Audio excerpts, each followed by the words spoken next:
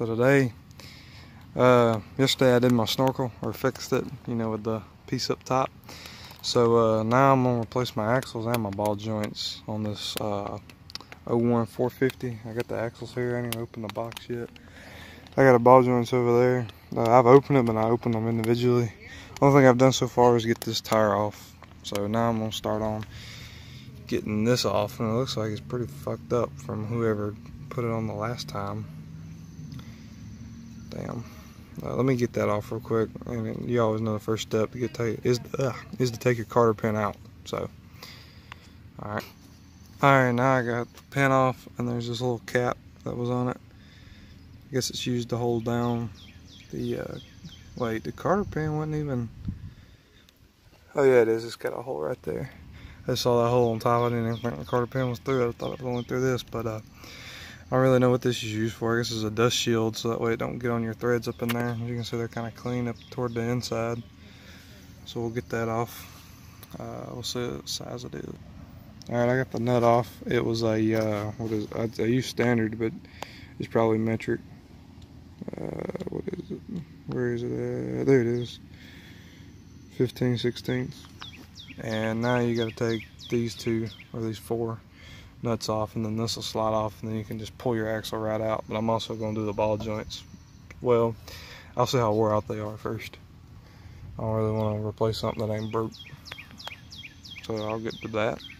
And your lucky number is 12 to get that some bitch off. So uh, I'll put it on my I got a half to 3 eighths driver converter. I'll put on my impact and knock them right off. Alright let's get that off Alright, now that I got those off, it should come off pretty easy. Well, no, I shouldn't say pretty easy, but with some PB blaster and a screwdriver to pop the dust cap off right there, it should separate. If there's any other bolts, I'll find that out when I start prying it off, and I'll show you. But my other four, the Rincon 650, this would just pop off after the four. So let's try it, give that a try. So yeah, just go around it with a flathead screwdriver, and just, I'm taking a pair of pliers and just knocking on the top of the screwdriver and it's popping it loose. You'll have to go all the way around until it all fully comes loose. But it's gonna come off.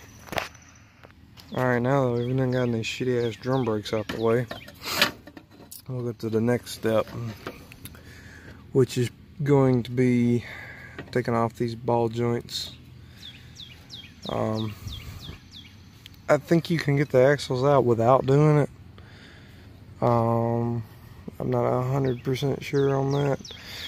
But I gotta take them out anyway, so I'm just gonna go go ahead and beat the ball joints out and do it that way. So, gotta take the uh, carter pin out just like the other ones. And then ball joints are at such a bad angle. Well, it's lifted in there, so that may be why. But we'll go ahead and get to that part next, and then we'll show you how to get the axles out of the actual four-wheeler.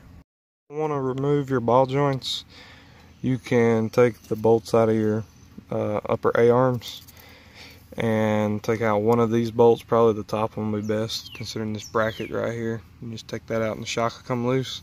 This will come loose and then this kind of fall down and you can kind of flip it up in a weird position and turn this. You can spin this piece way around because you'll have to uh, I don't know why I keep talking like that. You got to lower the, loosen the uh, lower A-arms too and then this thing will just swivel and then the axle will pull straight out. But I'm just going to already have new ball joints so like I said I'll take those out and then it'll do the same thing. Just it may be harder maybe easier. I have an actual press to press these out if they don't want to come out. I don't know if I'll be able to use it down here though because that's kind of funky. Uh, I don't know if I'll be able to use it up here either so I'm huh. I don't know about all that. That's kind of weird I may have to beat them out or whatever. Well, they got these little clamps around them. I may have to pop those rings off. Does the bottom one have one? Yeah, it has a ring too. Maybe when they pop them loose, I just they slide out kind of easy. Hopefully, hopefully this ain't a pain in the ass to get out. There's that one over there. All right, here we go. I end up taking the A-arms off, and Ball joints, apparently they look pretty new, so I'm not even gonna mess with them. I'll keep them for backups. The bearings are good, so I'm gonna keep the bearings. The only thing I'm gonna do is switch out the axles. So, And the tie rods do need to be replaced, but I didn't buy that. I probably should have bought that instead of ball joints, but as you can see, it was leaking kind of bad in there. And uh, the new axles are in here. I haven't gotten them out yet. They are, there's one and two. So I'll open that up, and these here are my bearings. And uh, yeah, there's one bearing.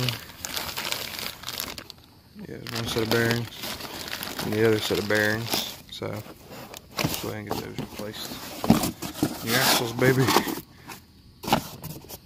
And that's what brand axles they are, if you're wondering. And there's the axle. Look pretty sweet. Uh, the one I took out, my buddy was right. Oh wait, it did have the pin. The pin is still attached. Well, it must not have been all the way up in there because there was a gap allowing water, but we'll be sure this one holds pretty good. Alright. Everything back on. But when you stick the axle in, I took a pair of pliers and just beat it until it slid in. You have to knock it in. There's no other way around it. And it's much easier to take, drop your A-arms engine, just swing it around and then your axle will come out. But there's the new one. I'm not going to record the other side because it's kind of repetitive. So if you want to know how to pop an axle out of a 01 uh, 450, TRX 450, uh, that's how you do it. I'm going to start posting at least a video a week if I can. Um, I'm going to try my best. Uh, my next video will be over what has been done so far on that truck. And so I'll see you guys next time on my next video. And if you like, I mean, if you enjoyed, like, subscribe. My Instagram and Snapchat will be in the uh, description.